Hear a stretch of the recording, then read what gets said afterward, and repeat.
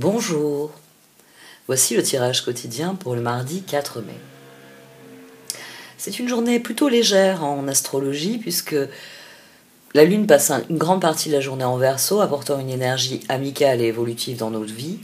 Et elle est vraiment conjointe à Jupiter en verso en toute fin de journée, de manière assez brève. Vous savez que la Lune change de signe tous les, on va dire, un jour et demi. On a donc une journée qui va surtout euh, nous tourner vers les autres.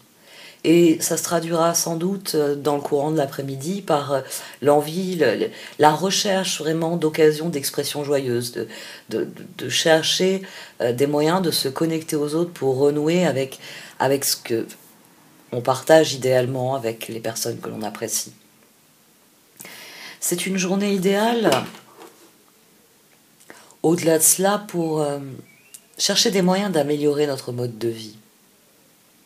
La Lune, conjointe à Jupiter en verso, il s'agit de voir loin, il s'agit de voir grand. Il s'agit d'utiliser nos émotions pour avoir une vision de l'avenir. Et ensuite, bien, nous aurons une lune qui va passer en poisson, donc là, ce sera une énergie qui sera plus douce, plus créative, plus compatissante aussi, plus rêveuse, idéale pour la nuit. Le début de semaine est assez peu marqué par les transits astrologiques. Alors, voyons un petit peu ce que les cartes pensent de ce mardi 4 mai. J'allais dire avril.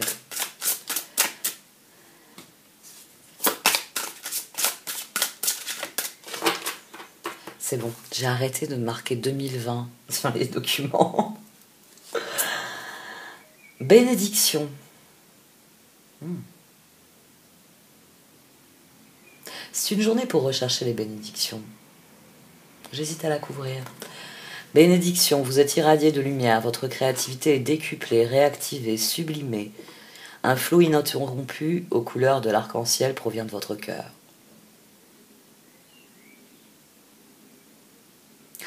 La lune en verso, en poisson, décroissante, qui plus est. Conjointe à Jupiter. Oui, le, transit est intéressant. Il est vraiment très intéressant parce qu'il se reflète dans cette carte. On a une énergie qui, euh, est en faveur d'une évolution en verso, qui est euh, amicale, communautaire. Hein. Et ensuite, on a une énergie qui est encore plus douce, encore plus compatissante, encore plus tournée vers ceux qui sont les plus importants pour nous, nos émotions se resserrent, on va dire. Et le fait d'être conjointe à Jupiter, la créativité est effectivement décuplée. C'est euh, ce que Jupiter ici euh, donne à la lutte des bénédictions. Un aperçu de toute la beauté qui attend, qui attend juste d'être vue et d'être saisie. Voyons un petit peu ça se dans le tarot.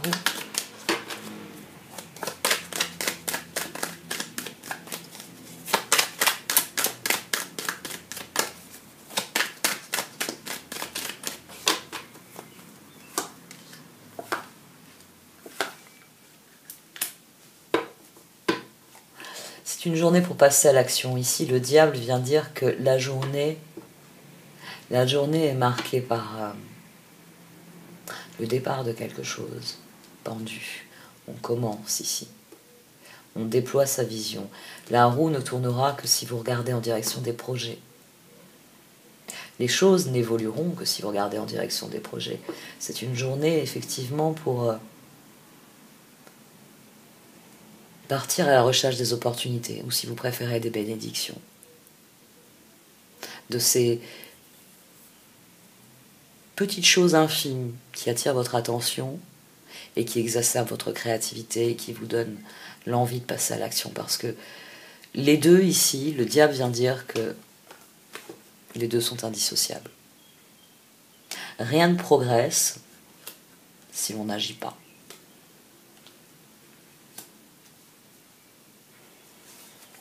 Au dos, on avait quoi? 6 de pentacle.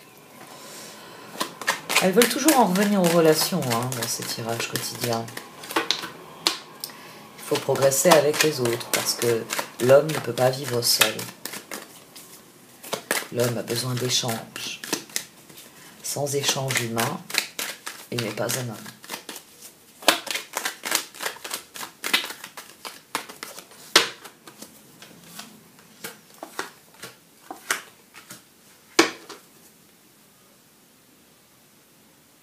Passez à l'action.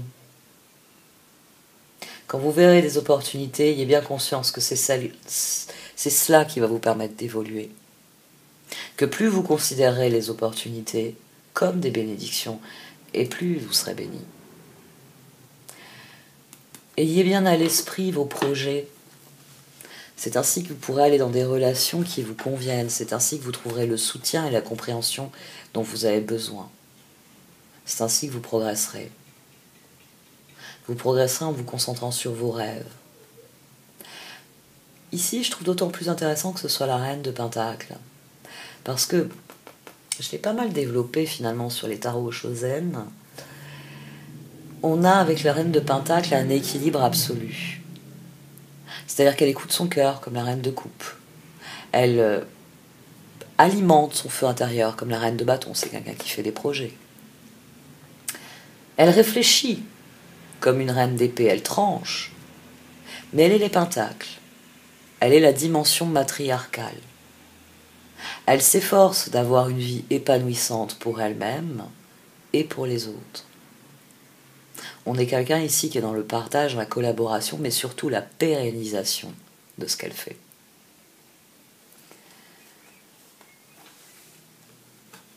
Ayez bien conscience que ce sont vos actions qui amènent les évolutions. Et que donc les évolutions sont tributaires de vos actions. Si vos actions sont faites ainsi, avec des intentions pures, honnêtes, authentiques, tournées vers ce qu'il y a de meilleur, tournées vers l'équité, la collaboration, vous ne pouvez que récolter des bénédictions. Une très très belle journée. Et au sens littéral, je En ce qui me concerne, je vais ruiner ma manucure dans mon jardin. J'appelle ça mon jardin, mais c'est un balcon. L'as de coupe. Ce que l'on porte au fond de son cœur. Réfléchissez à ce que vous désirez vraiment. Réfléchissez à ce que vous voulez vraiment, parce que c'est là que résident les bénédictions. Et c'est là que se trouve la clé. La clé pour euh, toutes les serrures que vous avez besoin d'ouvrir.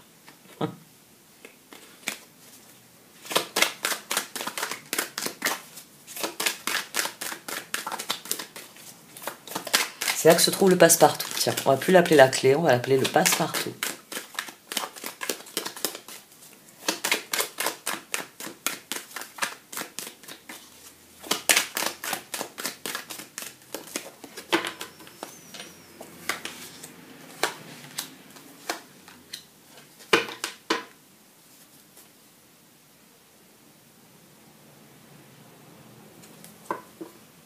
Affrontez vos peurs.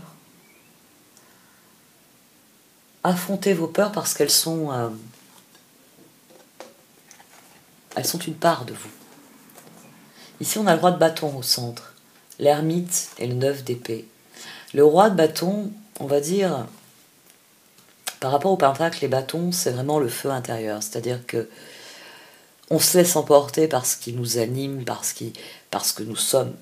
Mais on ne cherche pas à construire et à redistribuer comme vont le faire les pentacles.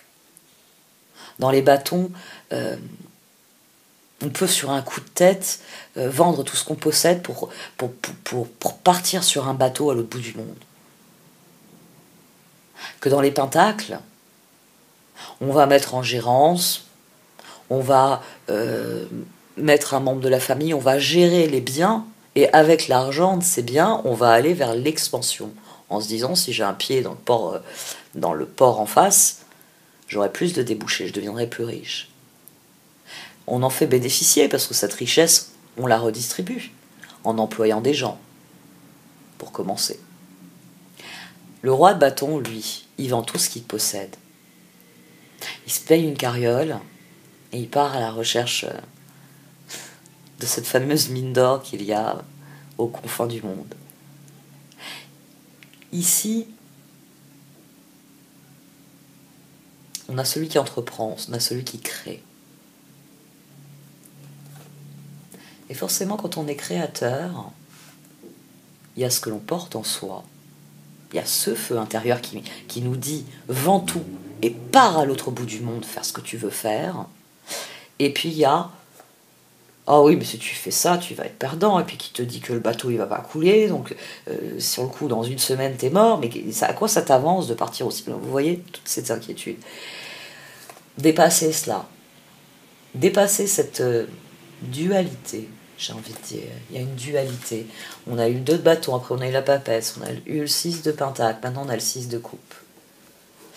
Dans vos relations comme dans vos actions, il y a une part d'inconnu, il y a une part effrayante. Mais il s'agit de dépasser cela. Il s'agit de suivre votre voie malgré les peurs.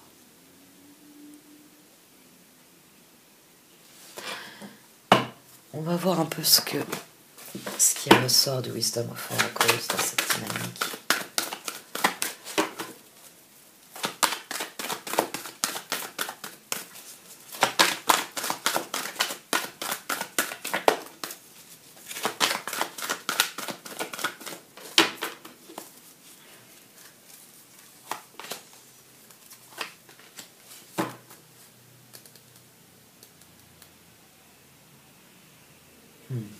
Pour ça qu'on a le diable au centre.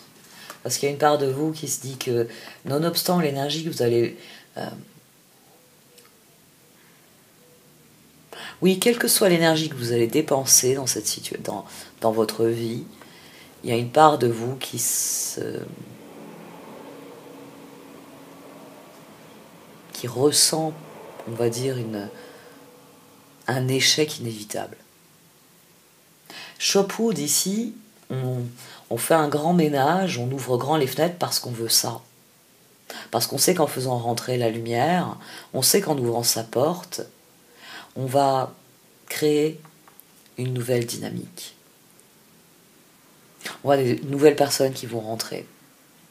Il y a des nouveaux projets qui vont se développer. Il y a tout un tas de bénédictions qui rentrent quand on suit ce processus-là. Mais il y a une part de soi qui a peur. C'est les gens qui. qui je, connais des gens, moi c'est dans le sud en plus, je trouve ça effarant. Euh, il y a des gens qui n'ouvrent jamais leur volet.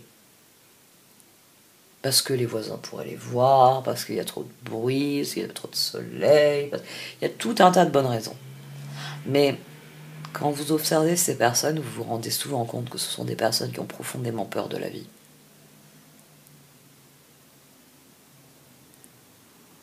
Et qui préfèrent donc plutôt que d'ouvrir leur fenêtre et de regarder de quoi la vie est faite, qui préfèrent rester dans cette posture. Ici, vous serez pris au piège si, si vous n'y croyez pas. Si vous n'affrontez pas vos peurs, parce que oui, tout vendre et partir avec un, sac d'or dans la poche euh, sur un bateau pour l'autre bout du monde, c'est effrayant. C'est effrayant. Mais si c'est ça que vous voulez faire, si c'est là que vous vous sentez appelé pour être qui vous voulez être. Concentrez-vous sur le fait que vous partez avec des ressources. Concentrez-vous sur le fait que vous avez trouvé le bateau pour vous emmener là où vous voulez aller, que vous avez euh, des ressources qui sont, avec un peu d'espoir, assez importantes pour vos projets, et que même s'il manque certaines ressources, vous trouverez le moyen Bah, de faire fructifier celles que vous avez déjà, que vous trouverez le moyen de, de faire pousser de nouvelles ressources.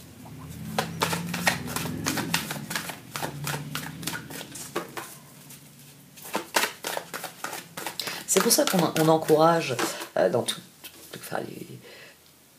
je regarde beaucoup de vidéos sur YouTube. Alors c'est vrai que je regarde beaucoup en anglais, mais le discours est le même, quelle que soit la langue. De bien comprendre que quand vous êtes dans la pleine conscience, vous êtes au présent. Le passé est derrière, le futur est devant, je suis au présent. Et c'est une des choses qui permet d'éviter cette situation-là. Parce que là, vous êtes prisonnier de la souffrance de quelque chose qui est arrivé et qui crée une angoisse pour des choses qui ne sont pas qui n'ont aucune réalité qui, qui, ne sont pas là qui ne sont qui seront ce que vous en ferez. Mais si vous abordez la situation ainsi si vous vous concentrez sur ce qu'il n'y a pas vous allez laisser dépérir ce qu'il y a. En étant au présent immédiatement vous verrez où est-ce que le verre est plein. Et ça vous permettra de, de transvaser du côté où c'est vide.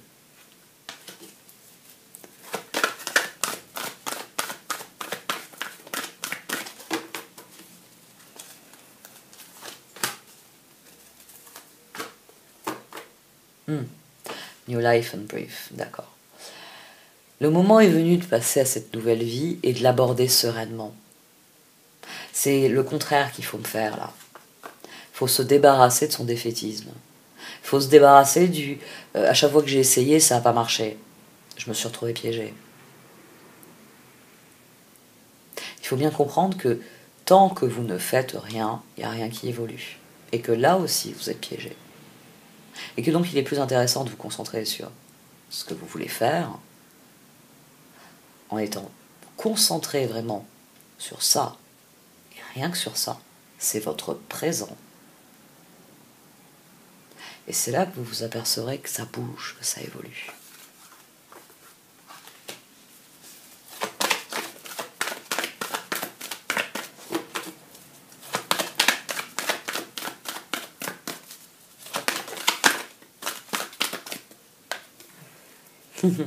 J'étais en train de penser à la carte bénédiction, blessed. Ça, c'est aussi une carte de bénédiction. C'est cet instant où on comprend qu'on est béni et on se décide à sortir de l'œuf parce qu'on sait que on peut déployer ses ailes et que les opportunités qui pleuvent au-dessus de nous sont autant de cadeaux que nous sommes appelés à recevoir.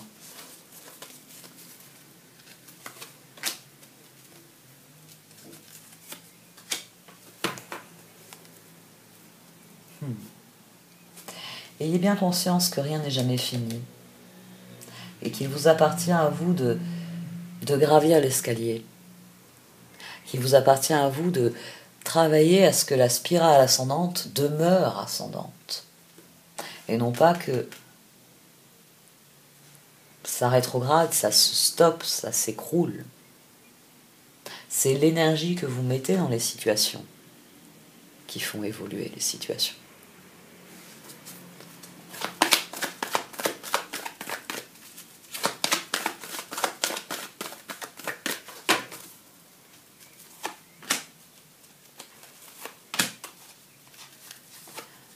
Vous êtes à un carrefour et vous êtes la personne la plus à même de déverrouiller votre bonheur.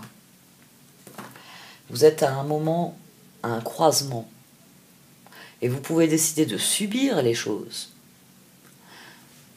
Ou alors que le moment est venu de donner vie à ce qu'il y a de meilleur en vous.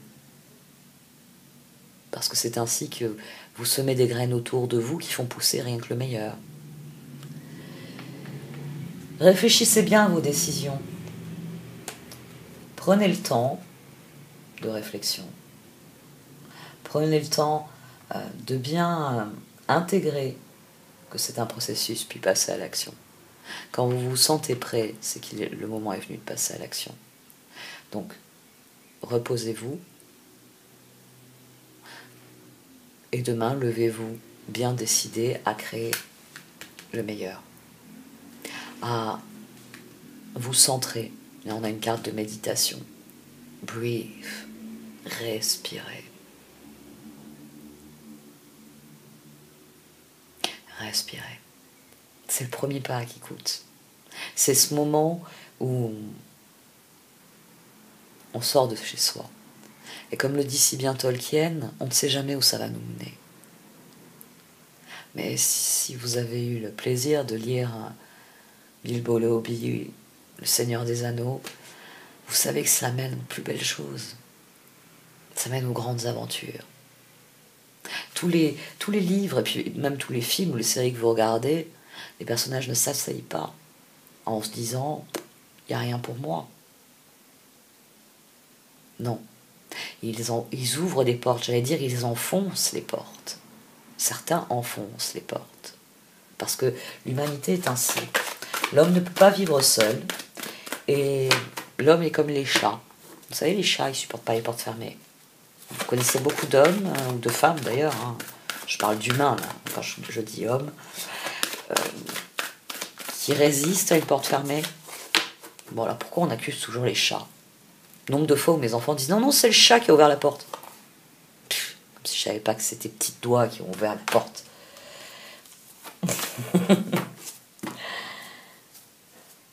Considérez la situation et tirez-en des enseignements.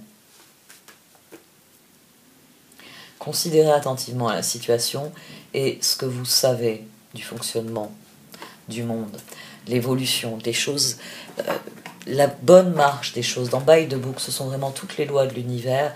Et c'est pas pour rien qu'elles sont toutes comme ça, vous voyez, reliées et qu'on a, on a quelque chose de linéaire. Parce que c'est la bonne marche des choses. L'univers veille à ce que les choses se passent comme il se doit. Je ne vais pas vous refaire hein, naissance, croissance, etc. Les choses doivent être ce qu'elles sont. Un point, c'est tout. Et l'univers ne souscrit pas aux fraises en ce moment, par exemple.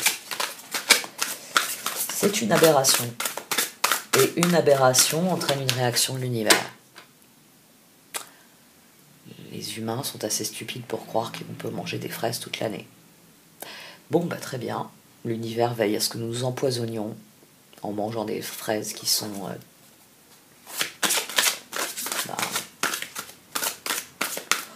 Au mieux, des OGM pleins d'eau. Au pire, des trucs pleins d'eau qui nous colonisent avec des OGM. Puis vous y rajoutez la pollution, l'épuisement des nappes phréatiques, parce que hein, vous savez combien ça consomme de litres des fraises? Moi je sais, j'en ai. Que de saison d'ailleurs. Je tire au milieu. Les cartes sont tellement grandes que j'ai le réflexe de l'oracle.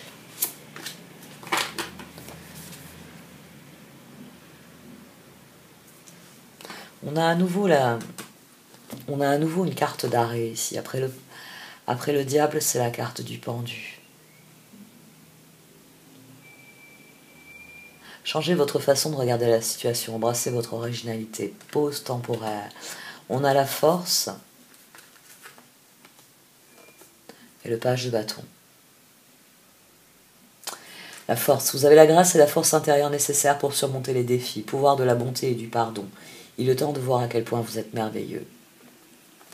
Optimiste, enthousiaste, créatif, énergique, il est temps de réaliser vos rêves. Faites quelque chose qui élargit votre horizon. Laissez votre créativité prendre son envol. Ça fait déjà plusieurs jours que nous sommes tous sur la ligne de départ. Qu'est-ce que nous attendons pour passer à l'action? Nous attendons la fin. Nous attendons que, le processus vienne à son terme. Avec tout mon petit monde qui est parti, j'ai pas coupé la sonnerie. Une brillante réussite, la liberté d'aller dans toutes les directions, un voyage désormais terminé.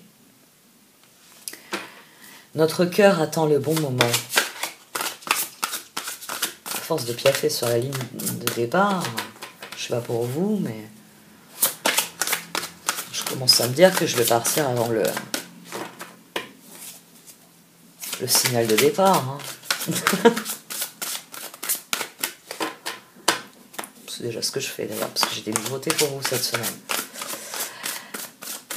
Déjà, pour commencer, je pense que ce soir, vous aurez un sondage en tant que ce tirage.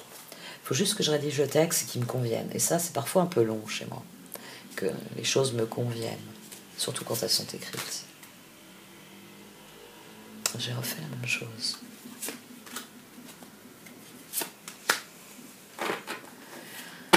Le roi de coupe, le 4 de bâton et le 3 de coupe. Notre attention se dirige vers ça et c'est une bonne chose puisque c'est l'élan de notre cœur ici. C'est le passage à l'action. Respectable, dévoué, mature, chaleureux, un amoureux en qui vous pouvez avoir confiance, excellent conseil venant du cœur, s'impliquer dans une entreprise culturelle ou s'efforcer d'être créatif. Le 4 de bâton, soyez reconnaissant, vous avez tant à célébrer. Profond sentiment de paix et de bonheur, une vie personnelle satisfaisante. Le 3 de coupe, de bonnes nouvelles sont à célébrer telles que des mariages, diplômes ou naissances, amis chers à votre cœur. Concentrez-vous sur ce qui vous apporte de la joie individuellement, hein, le 3 de coupe. Et ce qui vous procure de la joie dans votre relation aux autres. Les bénédictions. Ici aussi, il y a cette idée de célébration là entre le roi de coupe et le 3 de coupe. On a quelqu'un qui s'épanouit parce qu'il s'épanouit avec les autres. Concentrez-vous sur vos projets. Et ensuite, laissez votre cœur vous guider au milieu des opportunités et des bénédictions qui s'offrent à vous. Parce que votre empereur intérieur s'efforcera de prendre les meilleures décisions possibles, celles qui lui permettent d'être en harmonie avec lui-même et en harmonie avec les autres. Et c'est là que les projets évoluent dans la bonne direction. Et ça, notre cœur le sait. J'ai pas regardé ce qu'on avait comme carte en dessous.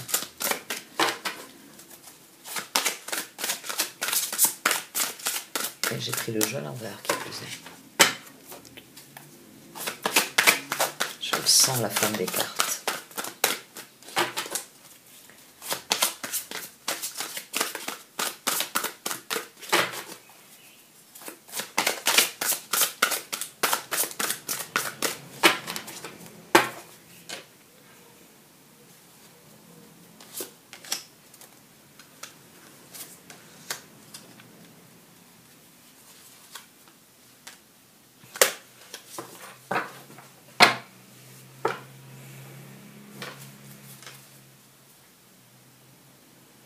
Le page de coupe, le 2 de coupe, le roi de pentacle et l'ego, le diable si vous préférez. Il s'agit de se libérer. Il s'agit de se libérer de ça. C'est les choses ne pourront évoluer, nous n'aurons l'énergie pour aller de l'avant qu'une fois que nous aurons purgé cela. Hier, j'ai réécouté une, une interview d'André Berkoff. Et à un moment, il m'a fait hurler de rire. Il donne son avis hein, sur le journalisme, sur la politique, etc. C'est une vieille interview. Et euh, à un moment, il dit Avant, on avait le tout à l'égout, le tout à l'égout, hein, les évacuations, vous savez. Maintenant, on a le tout à l'ego. Voilà. Les grands chantiers en France, c'est ça. Et je trouve ça hilarant hilarant parce qu'en quelques mots, il dit tout. Pendant longtemps, le, grand souci, ça a été de, créer, on va dire, de grandes structures en France, comme le tout à l'égout, qui garantissait euh, une hygiène dans les, dans les foyers, hein, puisqu'on évacuait les eaux usées, puisqu'il y avait l'eau courante, et le tout à l'égout. Maintenant, il y a le tout à l'ego. On se retrouve prisonnier de l'ego. Sentiment illusoire de se sentir piégé, donner trop d'importance aux choses matérielles, être prisonnier des soucis et des peurs. Ici, ce qui emprisonne le roi de Pentacle, c'est la relation à l'autre. Tomber amoureux ou s'engager sérieusement avec quelqu'un, pardon et résolution d'un problème. N'abandonnez pas, votre relation peut être guérie. Ici, il y a un avertissement. Il y a un avertissement parce que dans la quête du bonheur avec l'autre, on peut se retrouver prisonnier des attentes de l'autre. On peut se trouver aussi euh, prisonnier de nos propres attentes. C'est-à-dire que on ne veut que cela comme relation. Alors, c'est pas possible. Toute relation est faite de haut et de bas. Donc même au sein de la relation la plus équilibrée, il y a des jours où vous avez envie de mettre des baffes à l'autre. Et il y a des jours où il a envie de vous mettre des baffes.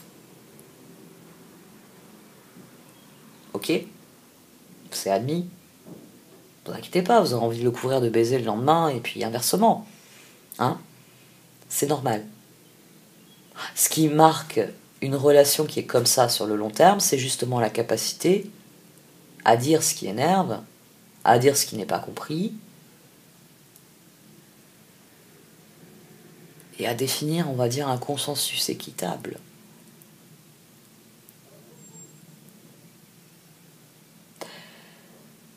Mais il y a aussi des relations où vous aurez beau faire, vous n'aurez jamais de consensus équitable.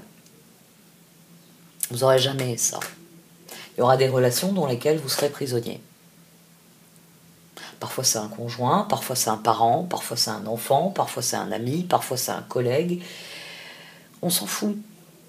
C'est une personne qui est venue pour vous, pour rincer votre ego. J'aime beaucoup cette expression. Ça se dit beaucoup des enfants. Que l'enfant vient pour rincer l'ego des parents. Parce que l'enfant est un miroir.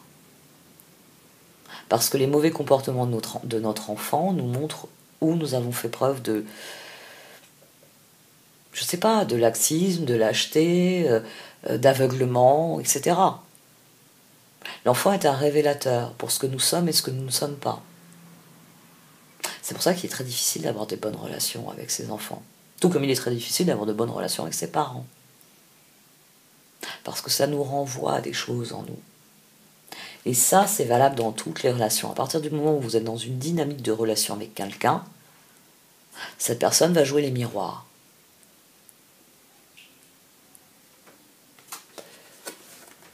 Compatissant, accompli, charismatique, talentueux, soyez plus catégorique lorsqu'il est sujet de ce que vous savez être juste. Tout va dans votre sens, une bonne personne en société pour qui travailler le roi de Pentacle. Je vous parlais tout à l'heure de la reine de Pentacle, on peut en parler pour ce roi de Pentacle. Vous avez entendu tous les, les beaux adjectifs qu'il y a sur cette carte.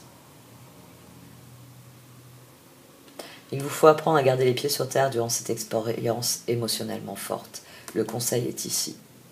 Si vous voulez être le roi de Pentacle, il vous faut apprendre à garder les pieds sur terre durant cette expérience émotionnellement forte. C'est le grand conseil des cartes ici. Écoutez votre cœur.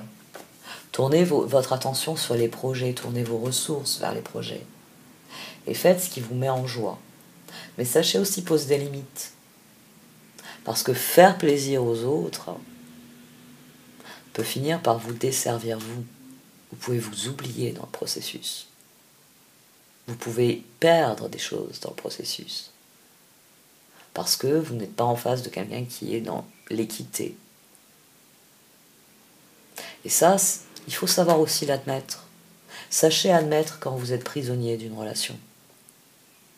C'est ce qu'il y a de plus douloureux finalement. Admettre que avec ou sans, on n'y arrive pas. C'est dans ces moments-là, bon, c'est souvent ce qu'on voit dans les, dans, les, dans les fictions, où le, personnage est fou amoureux, mais il n'en peut plus, et, et tout ne se passe pas comme à Hollywood. Donc, prenez votre temps. On en reste à un tirage qui dit qu'il y a encore des choses à traiter à l'intérieur. Mais ce que je trouve intéressant, c'est que